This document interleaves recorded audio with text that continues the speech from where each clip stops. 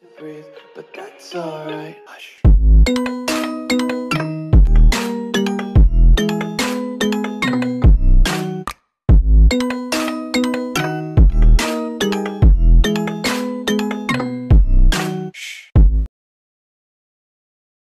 Tonight, so I'm not falling apart. A little, but I'm hoping it might me and my broken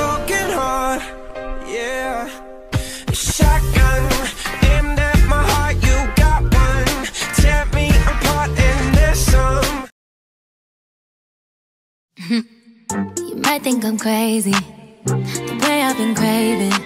If I put it quite plainly, just give me them babies. So what you doing tonight? Better stay doing.